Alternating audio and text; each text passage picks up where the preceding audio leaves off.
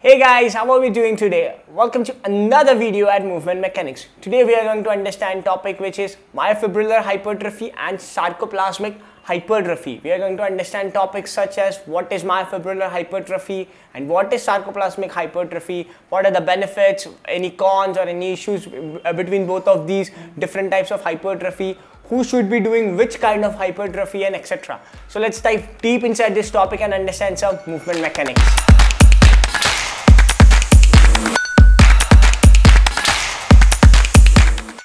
Okay guys, so before we start, I want to ask you a question. What sort of uh, sports are there out in the world? So there are various types of sports, right? We have got football, we have got rugby, we have got American football, Australian football, we have got cricket, volleyball. Then we have got certain sports which are extremely powerful and force production where we require lots of strength such as powerlifting, bodybuilding, shot put, uh, then you have got hammer throws, etc. So all these powerful sports or some uh, bulky sports we require lots of strength, lots of bulkiness on your body and all the other field sports such as football, cricket, hockey, etc. require lean muscular physique. Yeah, they also require muscles. They also require certain sort of hypertrophy, but it requires lean hypertrophy. So now in the context of both myofibrillar hypertrophy and sarcoplasmic hypertrophy, we have to bifurcate these two hypertrophies based on sports. We have to bifurcate the sports as well when we are talking about hypertrophic changes in the body. Alright, so if we are talking about field sports or if we are talking about uh, sports which require lean physique, what type of hypertrophy is necessary? It's the myofibrillar hypertrophy, it is necessary. And when we are talking about bulky sports like powerlifting or bodybuilding or shot put or hammer thrower, you require lots of muscle mass, lots of voluminous muscle onto your body, at that time we would be talking about sarcoplasmic hypertrophy. But what is this sarcoplasmic hypertrophy or myofibrillar hypertrophy? So there are muscle cells in our body, right? So our muscles have got small, small amount of muscle fibers or muscle cells. So inside those fibers, there are a couple of filaments which are known, which are known as myofilaments, which is myosin and actin filaments, ACTIN and MYOSIN, myosin and actin filaments. So, when we talk about myofibrillar hypertrophy, we are talking about increment in numbers and density or the size of these two filaments which is myosin and actin. These two are protein filaments which are responsible for contractibility of the muscle. The contractions in the muscle happen because of these two filaments. So when we talk about myofibrillar hypertrophy, we are talking about increment in density, size and numbers of these two filaments which is myosin and actin. There are other filaments as well, protein rich filaments we are uh, that that aren't considered during myofibrillar hypertrophy. We are only talking about these two major filaments which are responsible for uh, force production and contractibility of the muscle and uh, which are directly related to myofibrillar hypertrophy. Okay guys, so before we begin understanding the two differences of, uh, of myofibrillar hypertrophy and sarcoplasmic hypertrophy, we first need to understand what is hypertrophy. Hypertrophy in simple is increment in the volume, size, number of muscle fibers or the fluids or whatever contractible proteins are involved in the muscles. Okay, so when we have got increment in size, density and numbers of contractible proteins or the fluids in the body that is called as hypertrophy. So there are two types of hypertrophy. One is myofibrillar and one is sarcoplasmic hypertrophy. Now what's the difference? In terms of visibility directly with the naked eye, there are it's it's quite evident that sarcoplasmic hypertrophy is all about volume bulkiness. So all those bodybuilders, uh, powerlifters, shot putters, hammer throwers, etc. So all these guys undergo sarcoplasmic hypertrophy where they have got bulkiness, bulk muscles, huge amount of muscles uh, which are extremely visible to our naked eye. On the other hand, myofibrillar hypertrophy is much more prevalent in field sports, sports such as hockey, football, cricket, where you don't need bulkiness in your body, you need lean muscle mass, which is LBM, lean muscle mass. Of course, you have got growth and uh, increment in the size and density of the muscle fibers uh, involved, but those muscle fibers don't result in bulkiness or enhancement or expansion of your muscles directly. That is seen or uh, that is seen in where sarcoplasmic hypertrophy.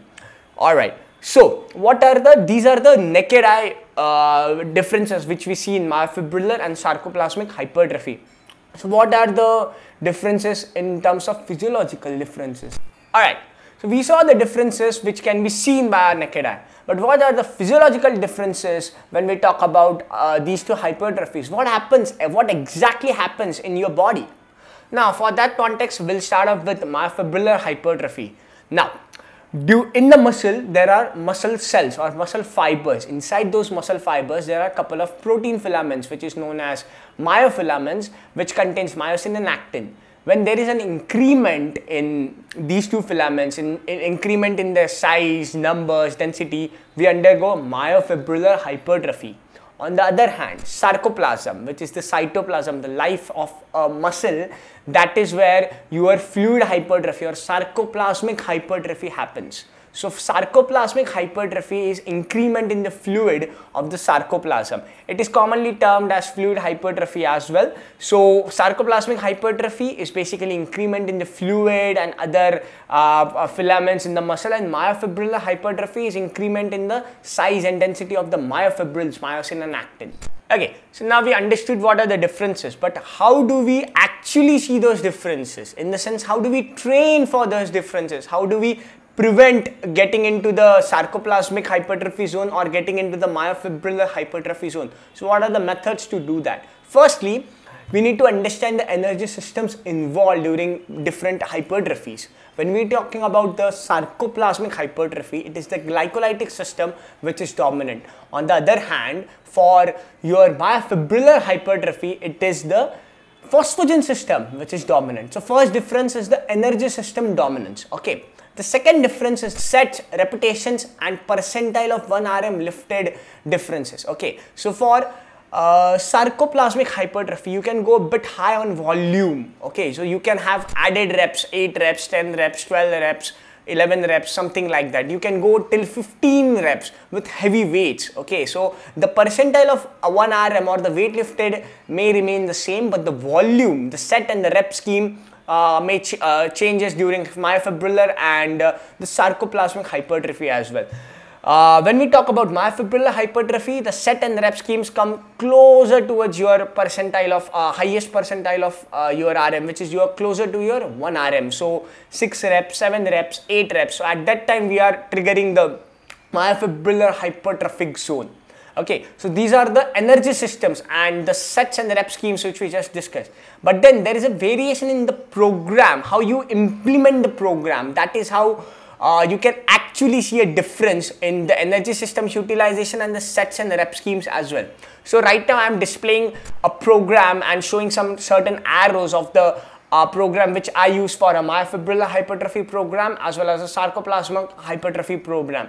So if you see on the myofibrillar hypertrophy part, so the program doesn't go sideways, it goes vertical. So it goes from uh, squats to deadlift to bench press to lunges. So when you are going in a vertical way and not in a horizontal way, at that time myofibrillar hypertrophy is triggered. But for that, you need to lift heavy weights. You need to be close to your 1 RM. So at that time, strength comes into the picture. Okay, hypertrophy, but that is more into the strength oriented hypertrophy. So anything close to your 93% of 1 RM can be utilized. Still 93% of your 1 RM can be utilized during myofibrillar hypertrophy. And the a sequence of uh, doing the exercise has to be vertical. You cannot do squat, squat, squat or deadlift, deadlift, deadlift. You have to go in a sequence which is vertical. So squat, deadlift, uh, bench press, uh, cable pulley, etc. So in this manner, when you are going in a vertical manner, what is happening? So before you come back to squat, your quadriceps or the muscles involved in during a squat have rested uh, enough. So the phosphagens in those muscles are replenished. So that is what happening. But on the other hand, if you are going squat, squat, squat, what is happening? You're going into the glycolytic zone. And as we discussed that during myofibrillar hypertrophy, we want to stay in the phosphagen system rather than going into the glycolytic system. If you want to do sarcoplasmic hypertrophy, it's very simple. You just flip what we were doing. So rather than going vertical, go sideways. Do squat, squat, squat. Do deadlift, deadlift, deadlift do a bench press, bench press, bench press. Squat, one minute rest, squat, one minute rest, squat. All right. So this is going to uh, lead you to a sarcoplasmic hypertrophy. Whereas squat, one minute rest, deadlift, one minute rest, bench press, one minute rest is going to lead you to a myofibrillar hypertrophy. Alright, so when we talk about hypertrophy, we often say that it's all about muscle mass, it's all about volume, it's all about size of the body, huge muscles, huge quadriceps, huge biceps. It's not about that. For athletes, it's never about volume of the muscles. Okay, it's never about that. It's all about being lean, being muscular, but lean, being lean. It's not about huge muscles, and because that that that leads to loss of mobility, that leads to excess expenditure, energy expenditure, that leads to uh, quick fatigue, that leads to loss of agility, uh, quickness, etc. So athletes don't want this. Bodybuilders, powerlifters need that loss of everything. Okay, need that loss of athleticism in terms of field sports athleticism because bodybuilders or say powerlifters are also kind of athletes, right? But they are different breed of athletes altogether. They need that excess volume. Hence they train in that particular zone. So this particular question answers why a particular uh, sports person a field sport person should train the myofibrillar aspect of hypertrophy and why a power lifter or a, a bodybuilder should train onto the sarcoplasmic side of hypertrophy. Now there is another trick when we talk about myofibrillar as well as sarcoplasmic hypertrophy which is Olympic weightlifters.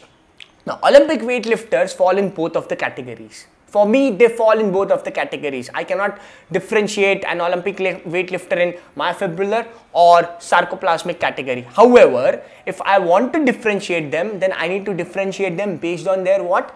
Weight category. So people or athletes with lower weight category for me would fall into what? Myofibrillar category, myofibrillar hypertrophy category. But on the other hand, athletes who have got high, who compete in high weight, excess weight, say 80 kgs, 90 kgs, 100 kgs, for them I feel that sarcoplasmic hypertrophy is much more efficient for uh, lifting that excess weight of their body. Okay, if, if they are going to lift 100 kgs on the barbell, at the same time they are also lifting 80 kgs of their own body. So that is 180 altogether. Hence they need that extra amount of muscle mass to lift that extra weight. Hence they can be qualified into sarcoplasmic hypertrophy and uh, uh, lower weight category athletes, weightlifters can be classified into the myofibrillar category. But for me, I cannot really differentiate uh, directly. Alright guys, so the template, the program design template for myofibrillar and sarcoplasmic hypertrophy has been added by me in the description below so you can check out that template as well. Uh, if you have got any questions regarding that template, comment below. Uh, if you're if you are loving my content, make sure you are liking the videos, uh, subscribing to my YouTube channel and hitting that bell icon so that you get the notification whenever I'm uploading a new video. Also guys, if you have got any questions or doubts related to today's video, make sure you are dropping them in the comment section below so that I can answer all of the doubts and questions. Okay guys, thank you for watching the video till the very end. This is Mihir signing off. See you later. Bye-bye.